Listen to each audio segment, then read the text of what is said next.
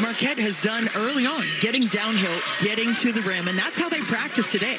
There's a look for Fudd, and she knocks it down. Boy, she can shoot the distance shot, can't she? Listen, I've seen it by the Huskies.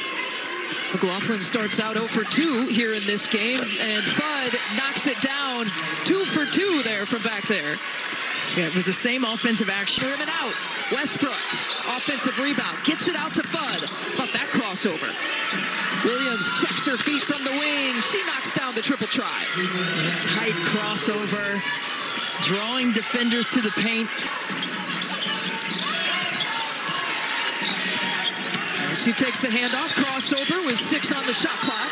It'll go back the other way. King saying, hey, I got hats. Take a look at the defensive effort on that possession. Watch right here. She's going to. King is short. Van Croonen does such a good job of staying composed in the double team. The freshman, Azzi Fudd, looking to create. That was all Azzi Fudd on that possession. Absolutely. Great read to get that statement win for their resume headed into March. And all four of those teams have that same mindset. Azzi Fudd, what a move. She was going right, spun back left for the lay-in.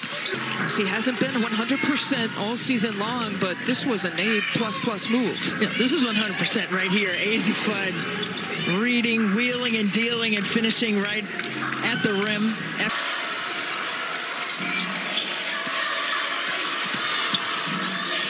Fudd with the take. Boy, she's playing like a vet, isn't she? She's so strong. So sit in, and, and this is a nice kind of serve it up entree right before the Super Bowl later tonight. A little appetizer.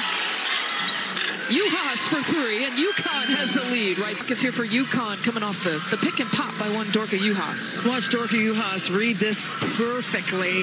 Azzi Fudd, great pass back out. You cannot go and dig in that. I love that she's facing. She's not trying to pound and have her back to the basket. She's facing it. Fudd from long two-point territory. Just clean. I mean, the mechanics on her shot UConn trying to stay disciplined with what they want to do on the offensive end. Gosh, that's a freshman. Yeah. 18 now for Azzi Fudd. Offense, she's there to, to supply it. Juhász got a piece of that as well. Mühl on the push, Fudd in the transition, steps into it. Big time. Five points in the last couple of possessions for Fudd.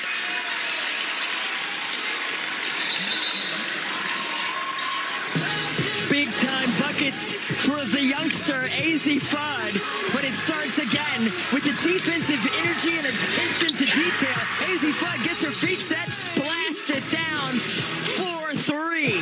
Didn't get that on that possession. Westbrook, how about Fudd from the other side? Clutch! It says freshman on her curve for Nika Mühl. Well, it's give the ball to Azzi Fudd and get out of the way time for UConn. And the bench knows it. High tens all the way down. It has been nip and tuck until the fourth quarter. And one of the reasons Azzi Fudd, the freshman, has come up big time in some of the clutch moments in the fourth.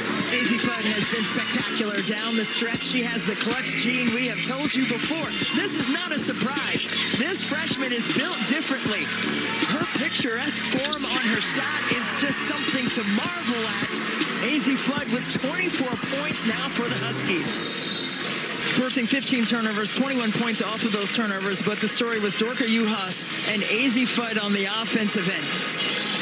Azzi Fudd, she's the number one recruit in the country for a reason. She showed out today. Uh, she has missed some games this season because of a foot injury, but it is getting stronger every single week. And I know that she struggled against DePaul, just two for 11 shooting, four points a few days ago. But Stars bounced back. She had 21 points tonight. Most of them were in the second half, and UConn finished this game with an exclamation point third 20 point game in the last four outings for Fudd. They go to 13 and 0 versus Marquette.